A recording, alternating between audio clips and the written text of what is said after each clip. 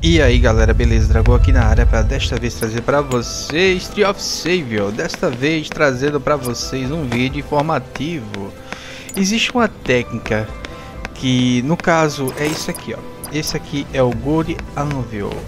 É um uma bigorna dourada que serve para upar itens com segurança a partir do mais 6 No caso até o mais 12 ele vai né, segurança Porque o que acontece é que quando ele vai, ele não quebra o item, tá ligado? Aí ele simplesmente falha e volta um level dele. No caso, tipo, se tá aqui para o mais 5 mais 6.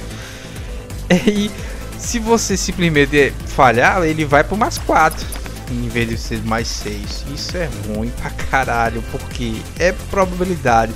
E eu já me fudi. Logo de cara, galera, eu simplesmente botei o Gundiável o Golden Anvil para botar para mais 6 e o bicho com a probabilidade de 85% ainda falhou. Gastei 170k para deixar ele por mais 6. Falhou, perdi o dinheiro. Ele voltou por mais 4. Aí eu tive que gastar 140 mil para deixar do mais 5 de novo. Ou seja, foi 300 mil aí fácil. 3 horas farmando pra porra nenhuma. Puta que pariu. Fiquei muito puto. E desta vez eu juntei novamente, ó, 177 mil, juntei rapidinho, no caso, só para fazer esse vídeo só de raiva, para eu não dormir com raiva. E vou novamente, para mostrar que tipo, como eu falhei uma vez, a probabilidade dele não dele falhar, de acertar agora sucesso é bem maior, né? Porque, porra, vamos lá, galera. Eu vou aqui, ó. Ah, antes de, de, de começar, eu queria mostrar uma coisa para vocês. O item tem um potencial, o Good Anvil só pode ser usado em itens com zero de potencial. Aí você pergunta, pô Dragão, o que, que tu fez? Tu, tu zerou o potencial do item como? Eu não arrisquei na sorte para ele descer o potencial, galera. Simplesmente eu vim aqui, ó. Vai lá no Storage, né? E vem no Team Storage. Se você por acaso for VIP, que é o meu caso, apenas VIPs pode usar o Team Storage, que é para guardar aqui dentro. Aí você guarda. Você vai guardando ele aqui. Cada vez que você guarda, ele desce um ponto de potencial. É uma faca de dois gumes? É sim, mas vale a pena ter uma arma mais 10, né? Uma arma mais 8.